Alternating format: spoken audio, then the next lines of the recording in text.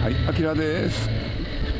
やっとね、秋らしくなってきたんだけども、秋っていうかね、もう11月だからね、で今年はね、なんかいつまでも暑かったせいかね、なんか紅葉を見に行くっていう感じのことをやってないなと今気がついたね。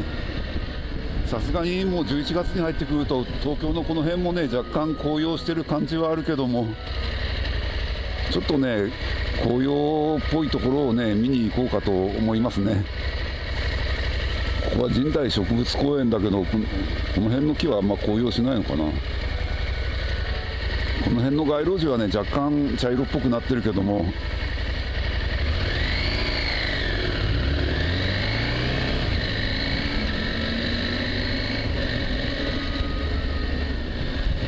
辺のねイチョウ並木とかもねまだそんなに色ついてない感じはするんだけどね、まあ、ここはイチョウじゃないけどね。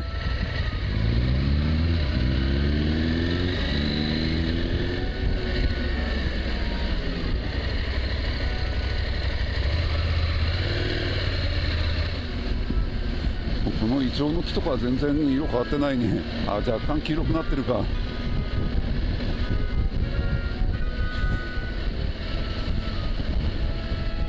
の木は少し、ね、色変わってるけども。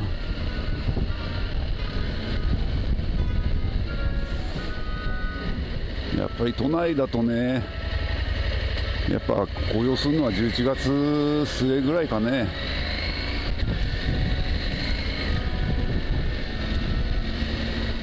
まだこのこの辺のイチョウ並木はねまあ本格的には紅葉してないね。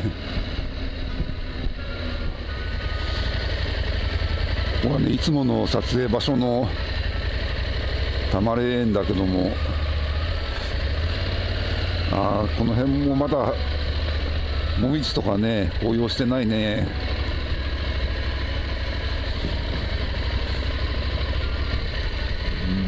まあ東京だと奥多摩の辺りまで行けばねもう少し紅葉してるとは思うけどね。やっぱ平地はまだまだだね。11月の半ばぐらいではね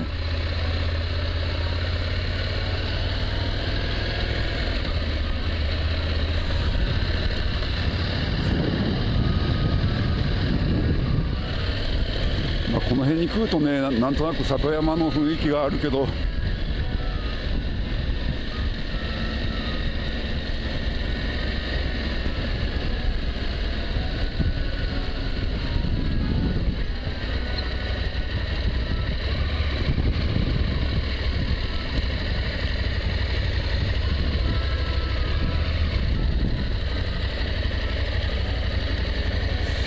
あーここから行くとあーやっぱまだ紅葉って感じじゃないね残念ながらね。あこう舗装してある。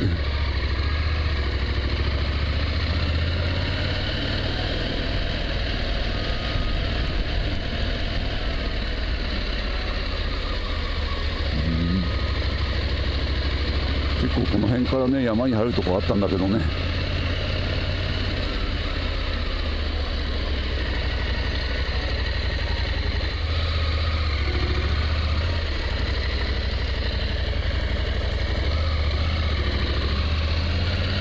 やっぱまだ早いね。